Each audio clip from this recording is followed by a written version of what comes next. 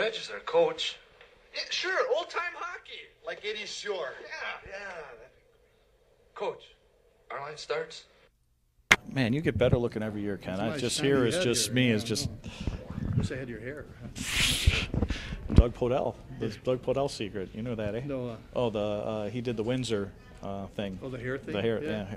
It look, looks good. But, oh well, you wear it well. So, hey, Tommy Morris here, Detroit City TV again with the legendary play-by-play announcer for the Detroit Red Wings, Ken Kal. Ken, great event here, DSBA. Uh, another fine. Uh, looking forward to the upcoming season for the Red Wings.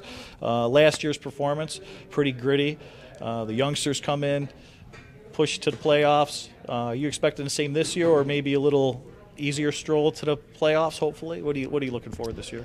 Well, Tommy, I'm really hoping that uh, the overall health of the team is a lot better than it was the last couple of seasons. The Red Wings lost 440 man games to injury last year, and it wasn't.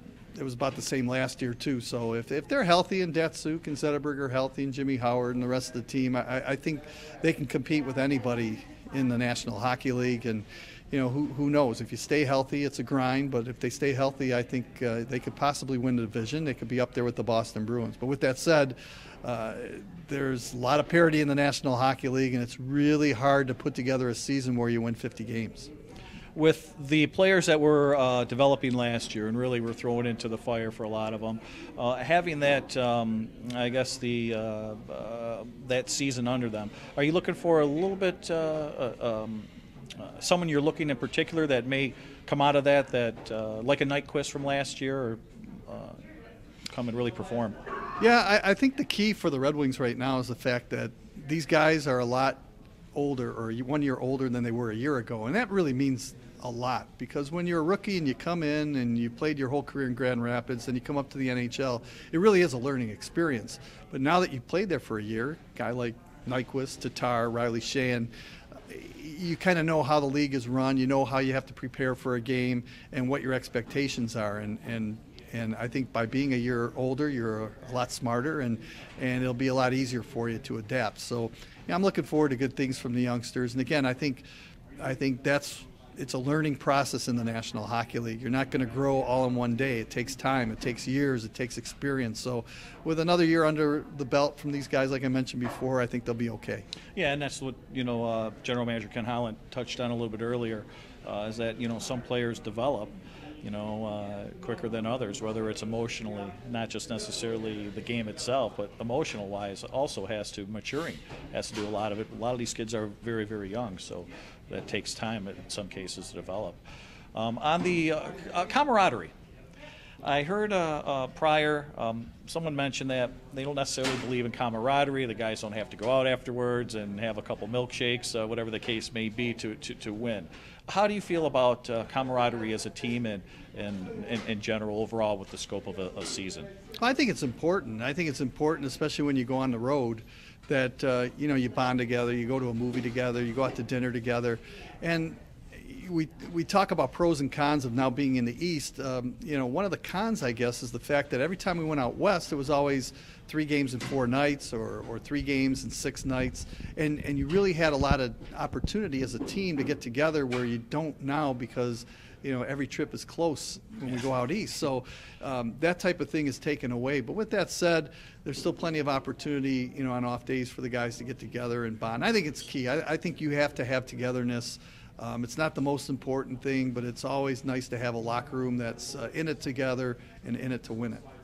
From observation, uh, I, I know for a lot of years uh, with uh, uh, Scotty being here and, and Ken and them building a team up through through Scotty and then uh, Coach Babcock taking over the team and some people in the media had mentioned that prior they thought it was still Scotty's team up until maybe through last year when finally the kids came up through Grand Rapids under Babcock, uh, Mr. Babcock. You finally had that sort of the older uh, players prior uh, had gone. Do you feel or do you get a sense that maybe you may see the best coaching from Mike Babcock now that this is really his group of youngsters that they have something to prove under under him?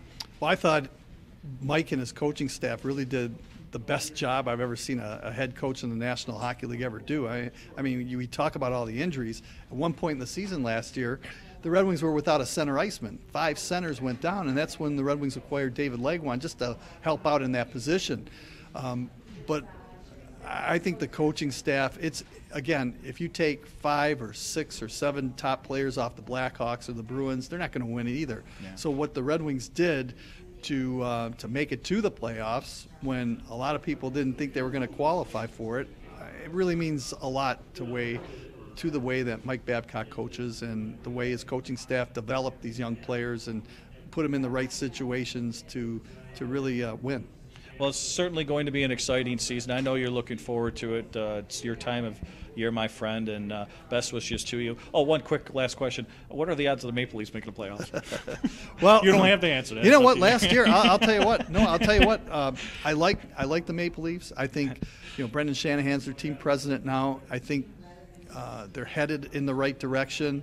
Uh, you, the problem with the Leafs last season is the fact that they gave up way too many shots, and they have to do something about that. But you know, I, they're not bad. I mean, it's, it'll be a great rivalry again, Detroit and Toronto. Now that we're in the East and in the same division, so I think it'll be good. Yeah, well, there's many problems wrong with the Leafs. On that being said, hey, Ken, thanks for your time. right, Ken Tommy. Kal, boys and girls. Tommy Morris, Detroit City TV. Follow the Wings uh, all season long with reporting on DetroitCity.tv. And, again, DetroitRedWings.tv uh, and uh, DetroitRedWings.com. So take care. Thank you, Right, sir. Tommy. Appreciate Thank it, you. man. Yep. For you. That's awesome. You're always great, Ken. I appreciate it, man. Thank you so much. Yeah. There goes Jeff Hanson into the corner. I think it's Jeff. No, it's Jack. Uh, 17. I'll have to check that later. Huey puts a crushing check on him on the boards. Oh, I'm telling you, things are really going on out there now. Now Steve is in front of the net,